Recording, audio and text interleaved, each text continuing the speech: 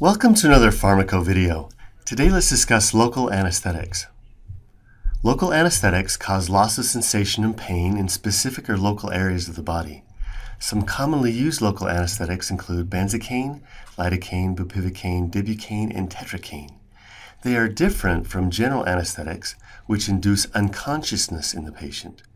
The original local anesthetic was cocaine, and most generic names for local anesthetics end in caine, such as lidocaine. Local anesthetics can be separated into two broad categories based on their structure amino esters and amino amides. Amino esters have a shorter half life because cholinesterase enzymes in the extracellular fluid break them down. Amino amides, however, are longer acting because they are mainly broken down by the liver. Local anesthetics are commonly used for minor surgeries and procedures.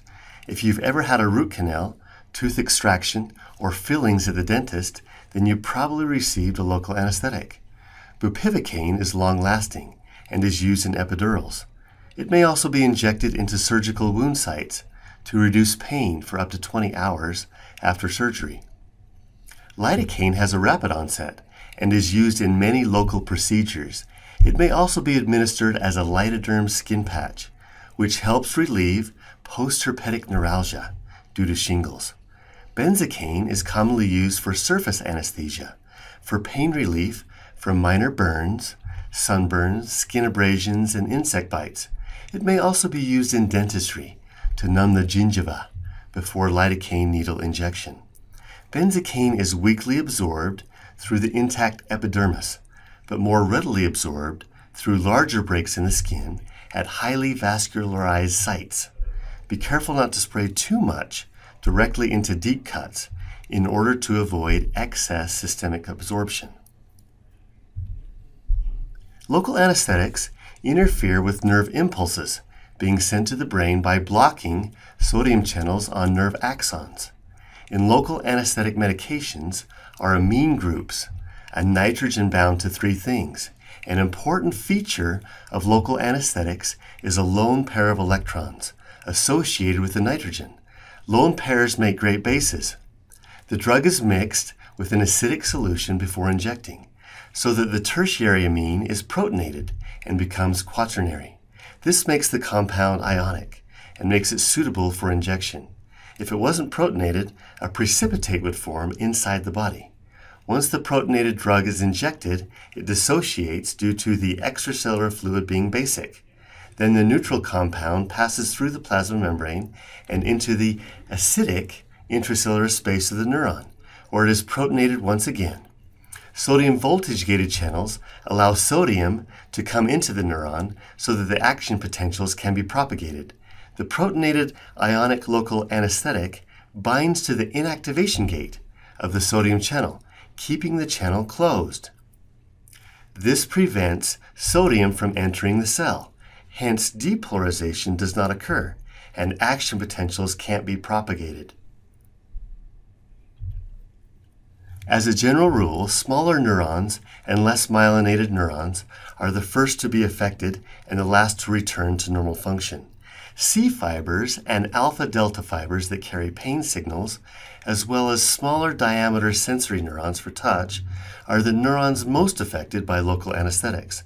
Neurons that transmit deep touch sensations, as well as motor neurons, are less affected because they are larger in diameter and have more myelin. These two characteristics make it more difficult for the local anesthetic drugs to get inside the neuronal cells and exert their action. OTC products with benzocaine come in many dosage forms, including ointment, cream, sprays, and patches. Bupivacaine is administered by extradural injection, which includes epidurals or caudal blocks. Lidocaine is used for infiltration analgesia and is also used in epidurals. Lidocaine jelly can be used for catheter insertion and skin grafts. Epinephrine is commonly administered with local anesthetics. It is a vasoconstrictor and constricts blood flow locally where the anesthetic was administered.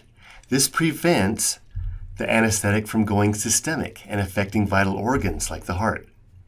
Epinephrine keeps the anesthetic confined to the surgical area. The vasoconstriction also keeps the anesthetic from being washed away by the blood to prolong the local anesthetic's half-life.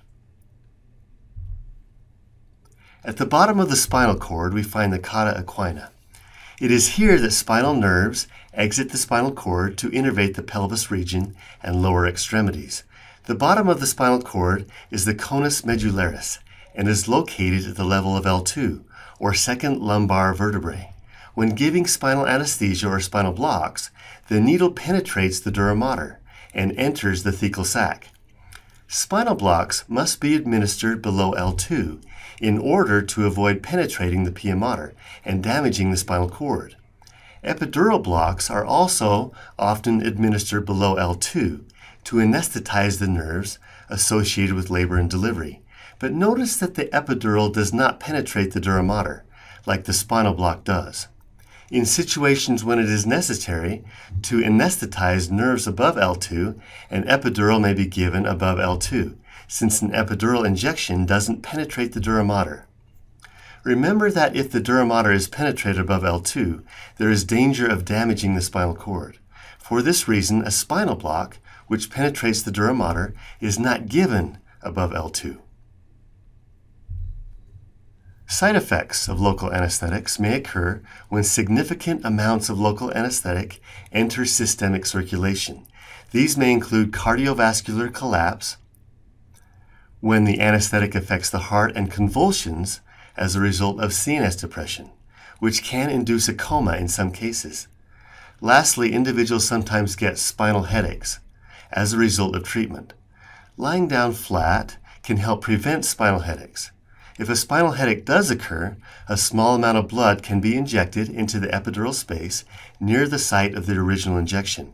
This is called an epidural blood patch. Now for some questions. Pause the video now to determine your answers. If you answered the following, you are correct.